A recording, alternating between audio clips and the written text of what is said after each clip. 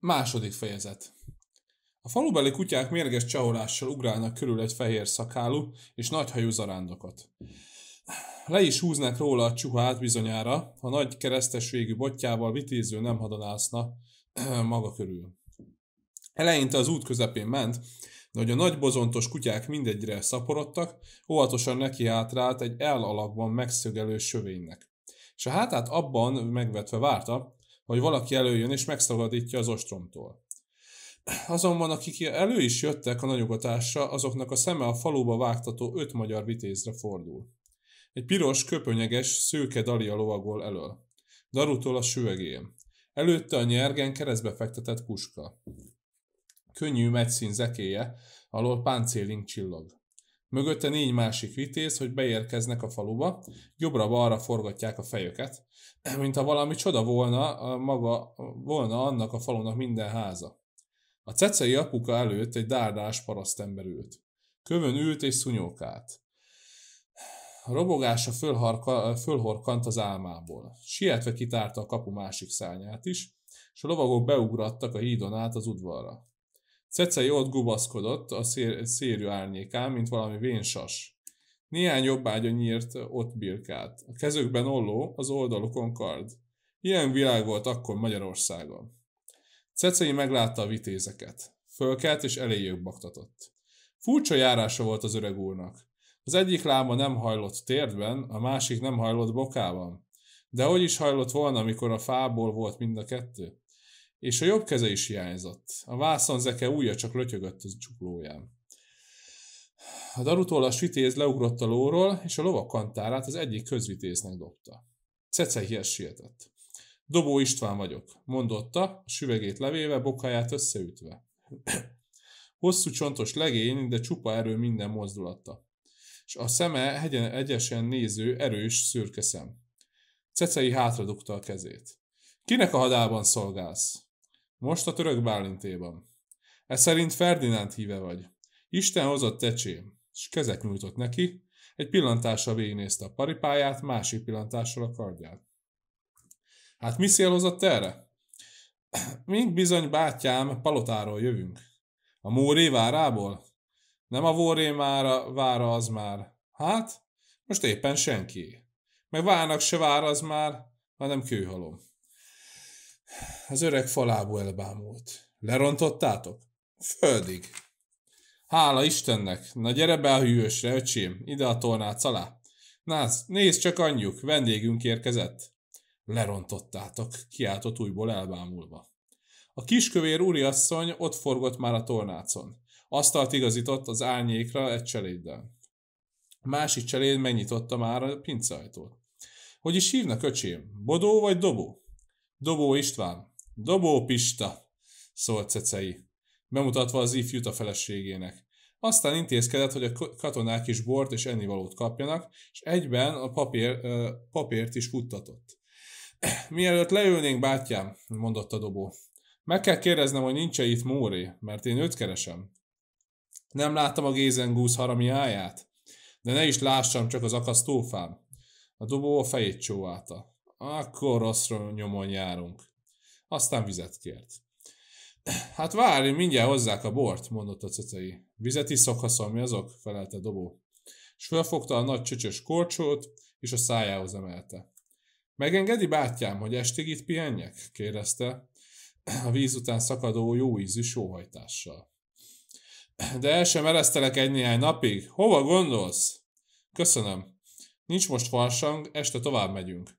Ha nem is a vasingemet szeretném letenni. Ha nem, a vasingemet szeretném letenni. Kutya meleg az ilyen időben, a csupa lyukból varták is. Mi Dobó a szobában vetkőzött, beérkezett a kapun a zarándok is. Te a baráttól jössz, szólt rá Cecei a fejét felemelve. Attól, felelte bámulva a zarándok. Honnan tetszik tudni? Nem a boszorkánsából elhiheted. A szakállat borzsírtól fehér, azt az első szempillantással megismertem. Igaz, felelte az ember. Ebből látom, hogy messziről jössz hozzám. Az is igaz. Nekem pedig messziföldről nem igen izenget más, csak a sajóládi gvárdián. Aki atyám fia. De hiszen nem Guardián az már régen, hanem a király barátja. Azt is tudom, üsse meg a mennykő gazdájával együtt. Hogy hínak? Varsány Imrének. Hány esztendős vagy? Harminc. Na hát lássuk, miért hoztál? Az arándok leült a földre, és a csuhája bélését bontogatta. Istentelen melegség van erre? dinnyögött jókedvűen. Azt annyira török, mint a légy. A barátnak köszönhetjük, meg a királyodnak. No, hova a pokolba vartad úgy azt a levelet? Varsányi elővonta végre a kis vörös pecsétes levelet, és átadta. Adjatok enni innivalót ennek az embernek, meg szállást is, szólt a feleségének. És feltörte a pecsétet, kibontotta a levelet. Az, szólt a levélbe belehunyorítva. A barát írása. Tiszta, mint a nyomtatás, de igen apró. Én ugyan el nem olvasom. Az arándó beljebb ült a diófának az árnyékában. Bizonyosan jót írt pedig, mondotta, mert nem noszított, hogy siessek. Mikor nagy pöcsétes levelet küld, mindig siet nem kell. Ez csak olyan kis pöcsétes, nem ország dolga. És hogy így bölcsen megkülönböztette a leveleket, elégedett arccal húzott egyet az elejé, eléjet, tett, eléjet tett boros fazékból. Az asszony is a kezébe vette a levelet. Nézte alul, felős, nézte a széttöredezett pecsétet. Az arándokhoz fordult. Egészséges a Gyuri bácsi? Az arándok sajtot evett, nagyot nyelt. Nem beteg az soha. Egy bika fejű válas és erős vén pap fordult be a kapun. A jövevény felállott, és kezet akart neki csókolni. Pápista vagy, vagy új kérdezte a pap. És melközépig érő fehér szakállát simogatta, hogy az arándok kezet ne csókolasson. Pápista vagyok, felelte az arándok. A pap akkor elfogadta a kézcsógot. Bementek a szobába, ott a pap az ablakhoz állott, és magyarul, magyarul olvasta a diáklevelet. Kedves sógorom, különös, tompa hangja volt a papnak. A mással hangzókat csak sejteni lehetett a beszédében, de azért, akik megszokták, értették a beszédét. Folytatta. És kedves Juliska, Istentől való egészséget és zavartalan életet kívánok minnyájatoknak. Továbbá arról értesültem, hogy ott a ti vidéketen napról napra dúl hol Móré, hol a török, és hogy már csak a földhöz tapadt jobbágyság marad meg a helyén. Aki teheti fut, ki a felvidékre, ki pedig len által a némethez. Hát ti, ha még életben vagytok szerelmesim, és ha még ott vagytok, e, keresztesen, ti is mentsétek magatokat. Beszéltem ő felségével, hogy térítse meg a károtokat. Ne olvas tovább! Pattant fel Cecei. Ebnek kell ebb kegyelme! Csöndesen, kedvesen csillapította az asszony. György okos, György tudja, hogy mi zápolyától nem fogadunk el semmit. Hallgassa végig kegyelmed a levelet. A pap összeráncolt a bozolatos szemöldökét, és tovább olvasott. A király ugyan nem adhatja vissza sásodot, de van egy falu nagyvárat közelében, Hagyd abba, hagyd abba, Bálint, szólt Cecei a haragtól kitűzesedve. Már más következik, felelt a pap, és olvasott tovább. De ha már úgy belét csontosodott volna az iránta való gyűlölség, belém, belém, kiáltott az asztalra csafa Cecei. Sem ezen, sem a más világon. Vagy ha ottan, hát ott is csak fegyverrel? Pap tovább olvasott. Itt Budán az én kis házam üresen áll, és mi nem sokára Nagyváradra költözünk. Csak egy ijártól, aki benne az alsóházban. A felházi három szoba üres. Nem kell, kiáltott Cecei fölkelve. A zápolya pénzén vetted, barát! Düljön össze, ha belemegyek! Tudod is te, hogy azon vette? szólt a pap. Hát, ha örökség... De Cecei már nem hallgatott rájuk. Dühösen kiektetett baktatott a szobával, és végig kopogott a tornácon. Az arándok ott falatozott a tornác végén a diófa alatt. Megállott előtte haragos peckesen.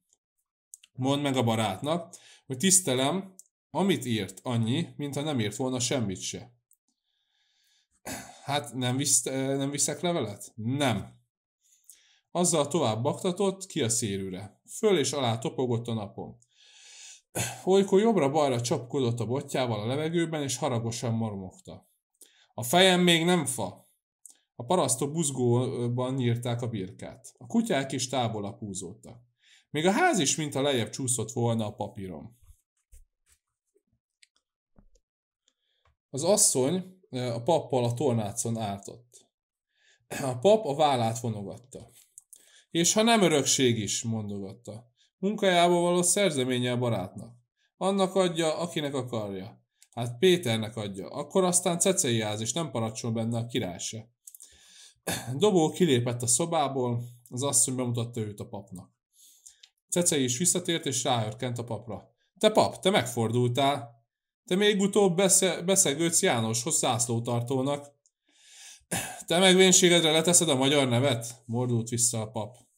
Te beállsz hóérnak, rikácsolt Cecei. Te meg népül, németnek, bődült, bőszült fel a pap. Hóhér, német, sintér, hazáruló. Két őszember szinte kék volt már a düttől, ahogy egymásra ordítozott. Dobó csak azt várta már, hogy mikor kell őket széjjel választania. Ne veszekedjenek az Isten áldja meg kegyelmeteket, mondotta nyugtalanul. Vagy inkább veszenek össze a törökkel. Nem értette ezt, öcsém, felelte Cecei a székre zöttyenve. Ennek a papá, papnak a nyelvét vágatta le szapolyai, nekem meg a jobb kezemet. Hát nem bolond ez, hogy a maradék nyelveivel szapolyait védi? Ha csak az én ellenségem lett volna, felelte a pap is megcsöndesült hangon. Régen megbocsátottam volna neki. De azért még így is azt mondom, hogy inkább ő legyen az ura magyarnak, hogy sem a német. De bizingáv a német, mint sem, hogy a török, kiáltott ismét Cecei. Dobó közbe szólt, hogy a két ember megint össze ne horgoljon. Jónak egyik se jó, az igaz. Várnunk kell valameddig, hogy állít a német erőt a török ellen. Meg hogy csak ugyan el akarja-e János adni az országot a töröknek. Eladta az már öcsém, régen. Nem hiszem, felelte Dobó. Neki soha se kellett a török. Neki csak a korona kellett. Az asszony egy tárántott csirkét tett az asztalra. Az illatos piros sült csirke láttára eltűnt a méreg vörössége a két öreg arcáról. Hely, mikor olyan fiatal voltam, mint te öcsém, mondta Cece jókedvel. Hány esztendős vagy? 31, felelt a dobó. Bizony ma holnap engem ezt sem mond senki fiatalnak. Míg az ember meg nem házasodik, mindig fiatal? De a manóba is nem házasodtál meg.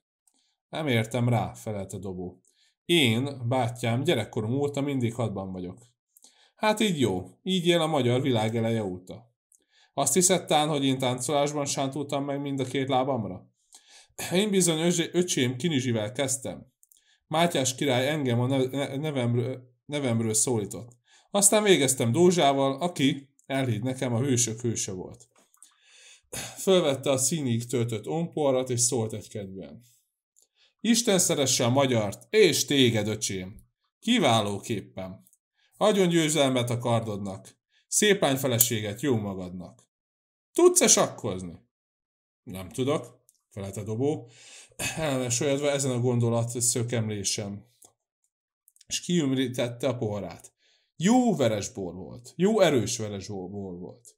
Gondolta magában. Most már értem, mitől olyan mérges ez a két öreg úr. No, nem is leszel akkor jó hadvezér, mondott a cecei. Nem, ha keletesen harcolnánk sereg-sereg ellen.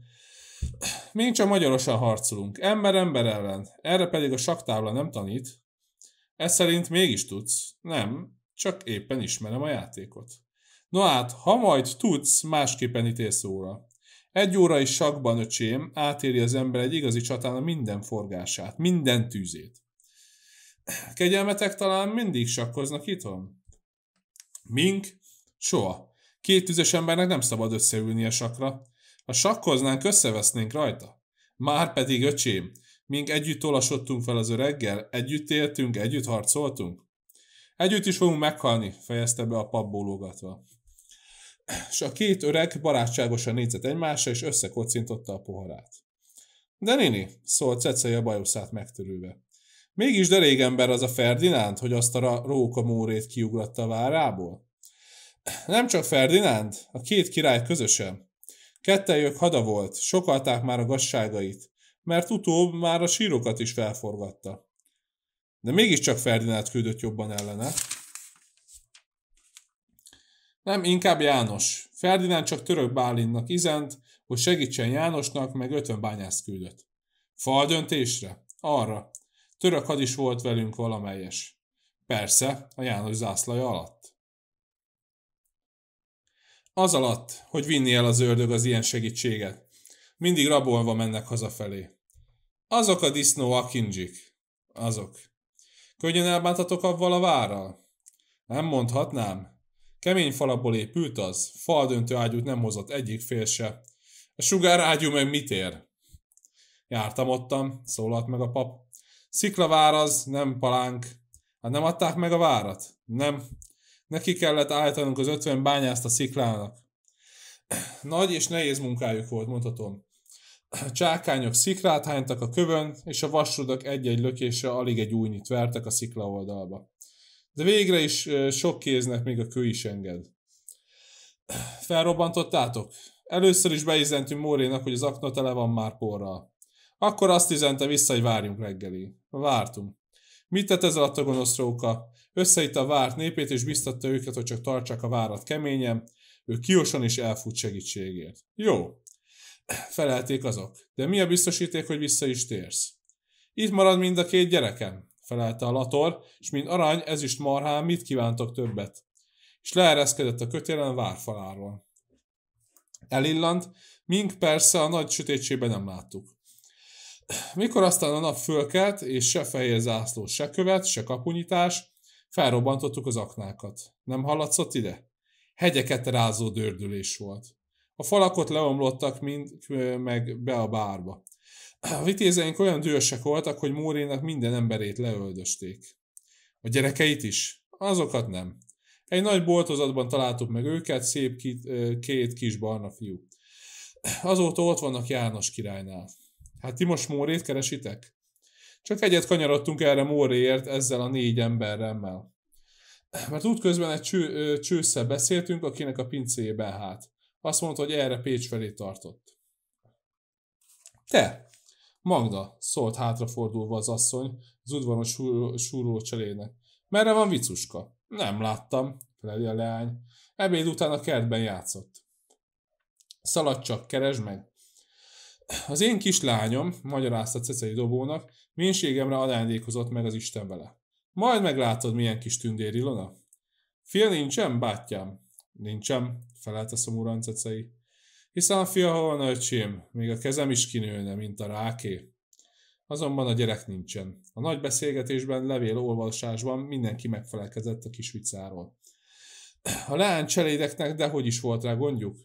Mind ott talál dolgot az udvaron. A vitézek a bajuszokat pödörgették, a lányok a szoklányokat hedergették. Úgy mulattak, mintha valamennyi vitéz minden leány nézőbe jött volna ceceihez. Csak hamar tüvé tesznek mindent a ház körül, megkutatnak minden bokrot, minden játszóhelyet a faluban. Hol van Katónénél? Ő vigyázott rája. Meg lehet, hogy elaludt, s az alatt kiment a faluból a gyerek.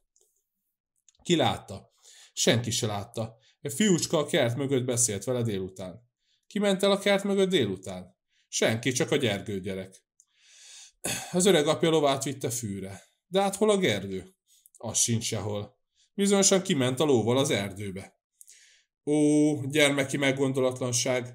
Hányszor megmondták neki, hogy szedresen túl ne menjen a lóval? Összekutatták a falu körül az erdőt. Már dobóék is segítenek. Megnéznek minden fát, minden cserjét, árkot, völgyet és bozótot. A Gergely anyja is jajgatva keresett. Az öreg katóra ráakadtak az erdő, erdőben. Az is keresett már régen, s rekették kiabálta a torkát azóta. Végre este felé az egyik cseléd megáll, és nagyot kiált. Megvannak. No, hál' Istennek, hol vannak? A ruhájuk itt van. A ruhájuk bizony, csak ott a ruhájuk. Patyolat ingecske, piros karmazsin cipőcske, sárga tafota szoknyácska, meg a Gergő gyerek inge gatyája kalapja. Látszik, hogy fürödtek. A patak partján csak ugyanott a nyomuk a puha fövényekben. A nagyobbik láb, amelyiknek széjjel, van nyílva, széjjel vannak nyílva az ujjai, az a Gergő gyereké. A kisebbik lábnyom a vicuskáé. Bizonyosan belefulladtak valahol a vízbe.